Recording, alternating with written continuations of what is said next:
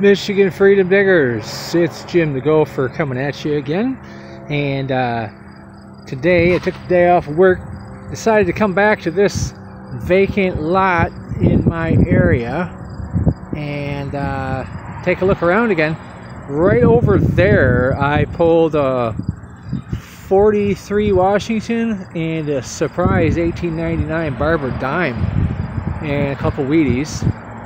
But uh, I explored this area a couple times and pulled some older automotive type, you know, eh, kind of junk, kind of cool relics out. So I figured I'd come back today and bring the MX7 with the 7 inch Detech and see if I could weed out some more goodies. And I didn't do too bad. Didn't do too bad over here. Uh, I felt like Santa Claus today because I ended up with all the toys in my pouch.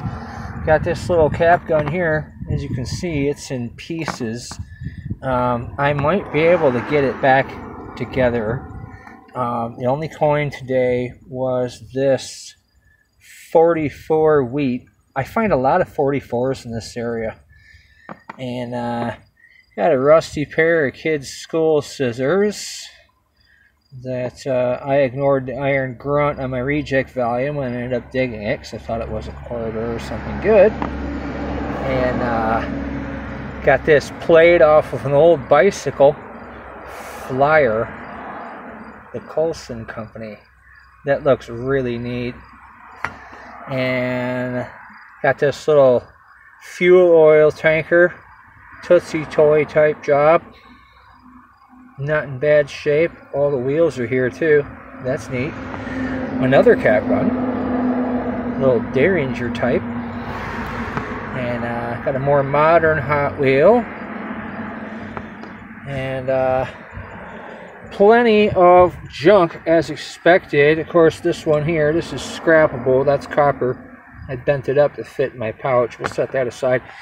Plenty of other stuff. Uh, this rusty nail is actually in the hole with that wheat. And uh, I was able to really pick up on the wheat being in there. It was giving me a little bit of an iron sound, but it kept telling me there was a coin in there. Glad I listened to it. So, uh, probably going to head out to one more spot after a little bit of a break. I guess it depends on how comfortable I get during my break. And uh, see what else we can score in the meantime, guys, uh, check us out on Facebook, Michigan Freedom Diggers Metal Detecting, and uh, join up and check us out.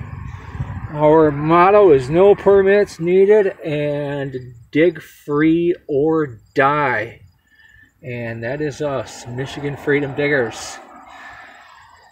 All right, I think I'm going to grab myself a refreshment and. Uh, kick back with for a little bit and have a smoke. All right, guys, we'll see you next time. Thanks for watching.